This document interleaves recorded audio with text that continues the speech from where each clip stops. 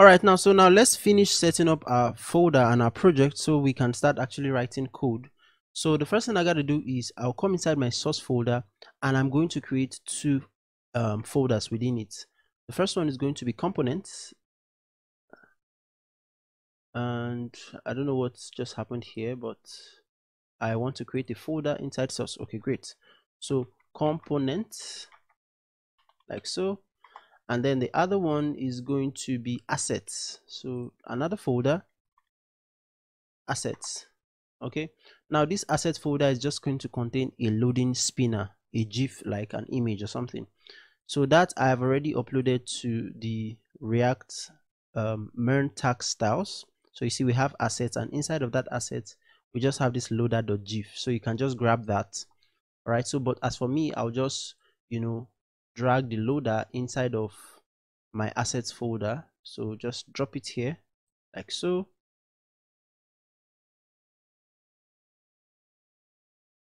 Aha so i have okay yeah so i have the loader. Then i'm going to create a number of components. So for the project that we're working on we're going to have three components. The first is going to be task.js so let's do that. T-a-s-k task.js then we're also going to have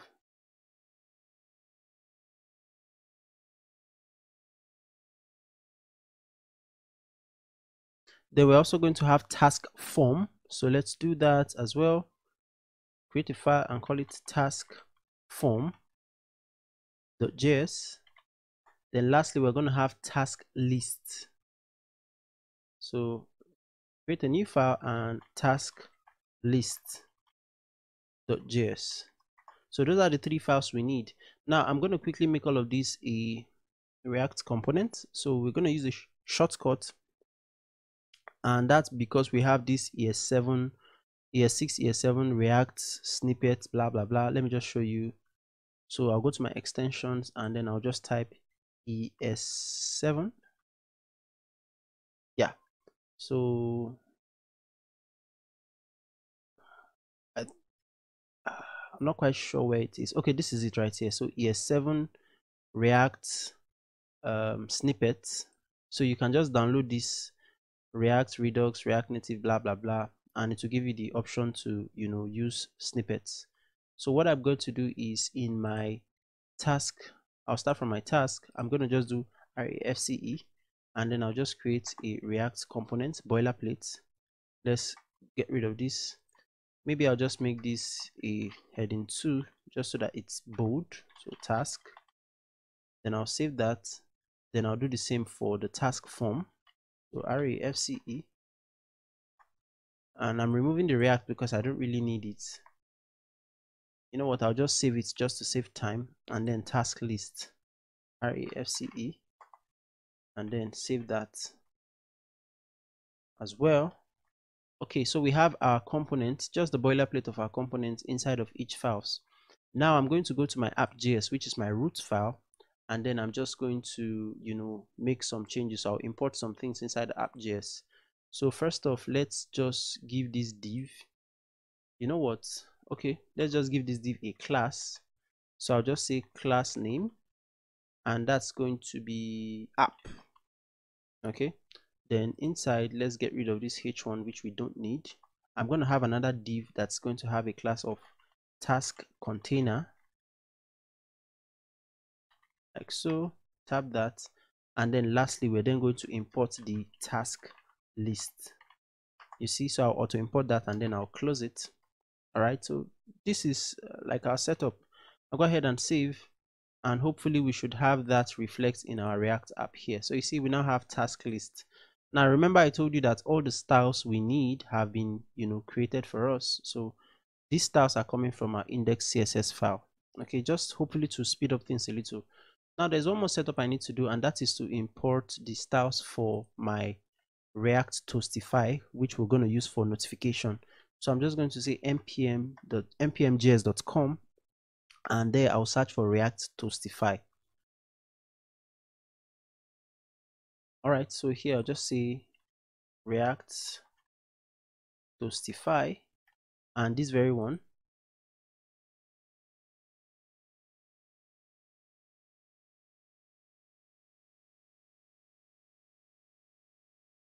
Okay so the page is open. So what we just need to do is to come down and just you know see the documentation. Come on this this package has one over 1 million installs every week. So it's it's solid.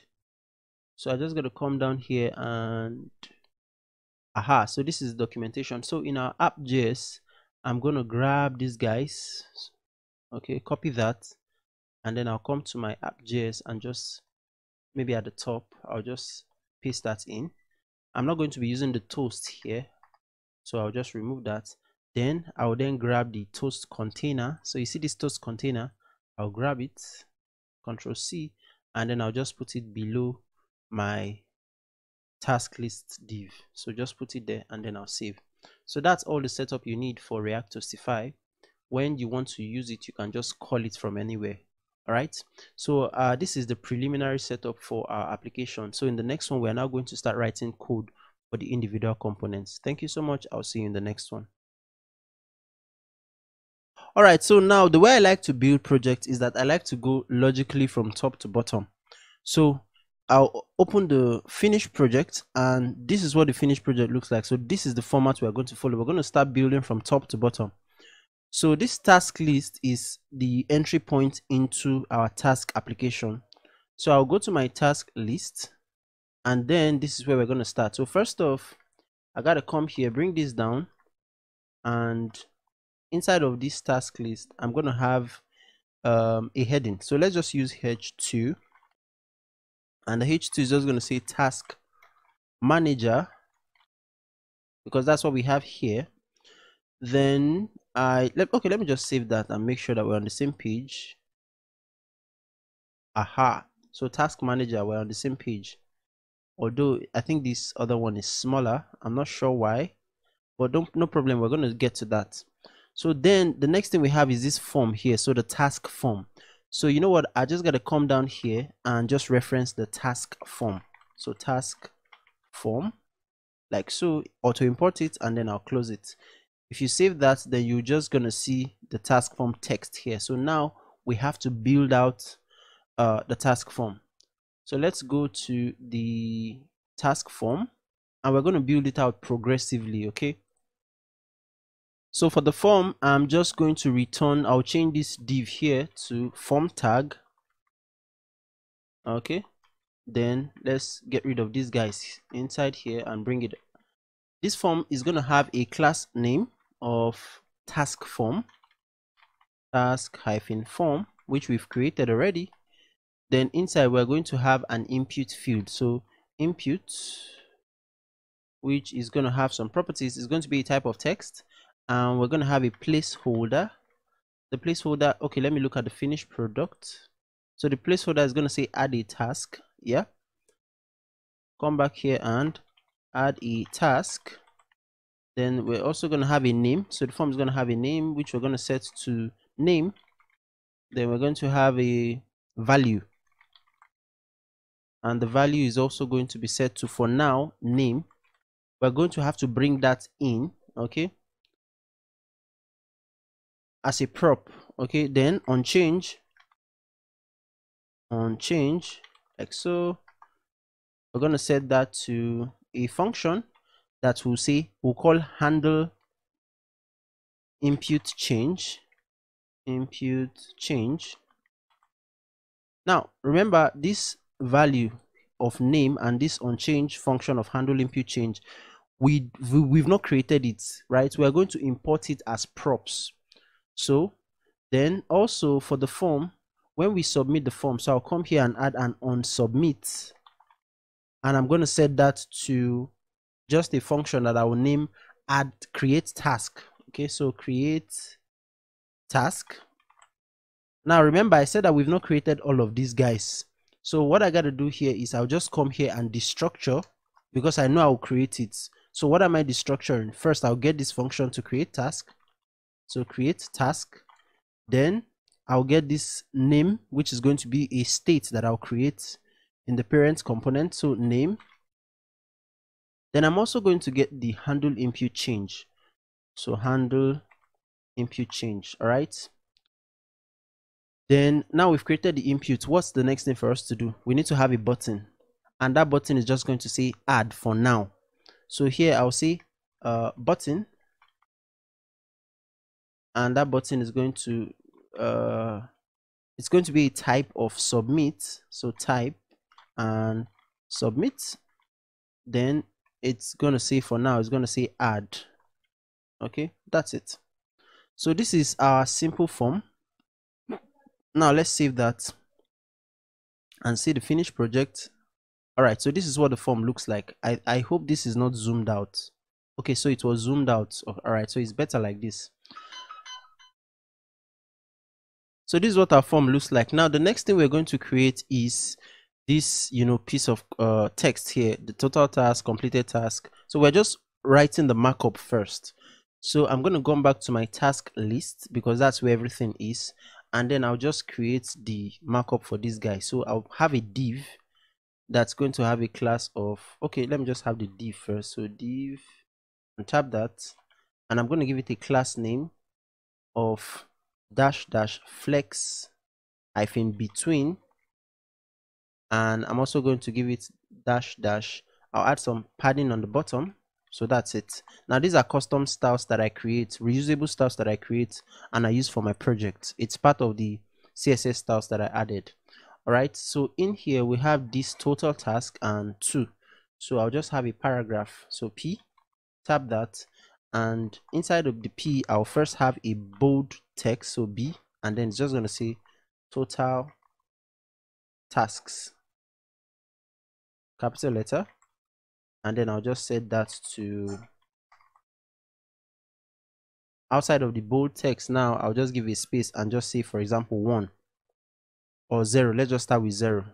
Then I would do the exact same thing. So I'll just duplicate this guy and then I'll just change this to completed task. So completed task and also zero. If you go ahead and save that let's see the final output here. You should see some text okay? So now at the bottom of this div this one that has this total tax blah blah blah i'll just come to the bottom and then i'll just add a horizontal row just a line. Save that and you should see that here right away. Great. So what's next next we're going to write the markup for what a single task looks like all right so i'm going to come uh, just below the horizontal row and then i'll just import my single task so task. That's the component. And yeah so this is where it is. Dot forward slash task yeah. And then I'll close that. If you go ahead and save then you should just see the text that says task. Okay great. So now we'll now go to the single task here and then we'll build out this markup or this structure all right so we're going to start by giving this div a class name and that class name is going to be set to task okay? Then inside let's just get rid of this h2 so inside of this main div now we'll first have a paragraph. That paragraph will contain everything you see here. So first off i'll open that paragraph and add a b tag and here i'll just set one which is like task one and maybe a dot. Then below that i will now maybe add like a piece of text. So maybe task one for example task one. Okay? So now after that then we're going to have these icons here. So these icons one two three they're in a group and they're react icons. So we're going to have a div that will just have a class of task hyphen icons.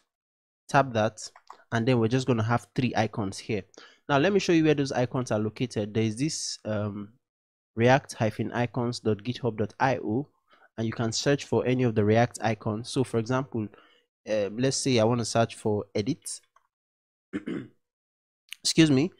And I think I use the FA font awesome icon. So inside of this if I search for FA then I should just be brought directly to the FA edit. So this one here. So this is the one I used all right so all you just need to do is click to copy the icon and then come in here for example and just paste it in and close it. Now don't forget that you need to import it from react icon. So you got to come up here and say import and then you just open your um, curly braces and then it's going to be from then you just see react icons and then you specify which specific icon. So it's a font. Awesome icon. That's fa that's this first two letters. So basically that's what you do. Now you can then go ahead and give this icon maybe like something like a color you know. So but just to save time i'm just going to drag you know i'm just going to copy the icons because there's no point looking for it. I already know the icons i want to use. So let me just grab all the icons that i need. There are three of them and let's come back to the finished project. So you see these three icons here. So first off i'm going to import them here and paste that. So you see i need the double check edit and trash. Okay? So how am i going to slot them in? First off i'll just grab the double check. Let's start with the double check copy that and then just maybe i'll just duplicate this twice. And then the first one is going to be double oh sorry. The first one is going to be double check the second one will be edit and the last will be that one the trash. Okay so that's it as far as the icon goes. Now i want this icon to have three different colors. So you see this is green this is purple this is red. Okay so let's do that one two and three. Great. So i'll just specify the color property and that's going to be equal to a string. String yeah. So the first one is going to be green second is going to be i think what did i use? Purple e-u-r-p-l-e and the last is going to be red. Delete. If you save that now and come to the finished project you should be able to see uh okay yeah so it was compiling. So you should be able to see the markup of just a single task. So at this point we can see that okay yes we've created the markup of the project now it's now time for us to add logic to the project. So in the next video we're going to start adding logic to our project. All right see you in the next one then